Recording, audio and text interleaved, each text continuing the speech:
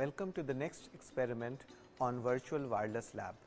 Here we are interested in measuring the frequency characteristics of a dipole antenna. In this experiment, we are using a dipole antenna at the transmitter and a log periodic antenna at the receiver.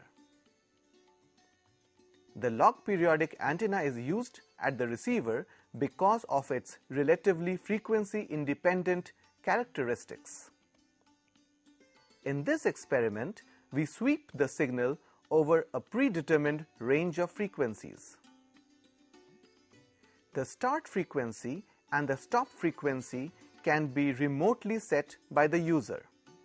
The frequency step size can also be remotely set by the user. The minimum step size is 1 MHz for this experimental setup. In this experiment, the start frequency is set at 600 MHz and the stop frequency is set at 800 MHz.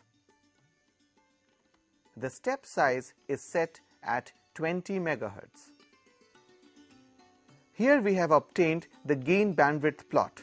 From this curve, we can determine whether the antenna is resonating or non-resonating type and determine the gain bandwidth product. End of experiment 2. This is a proof of concept that experiments can be triggered remotely and measurements can also be obtained remotely.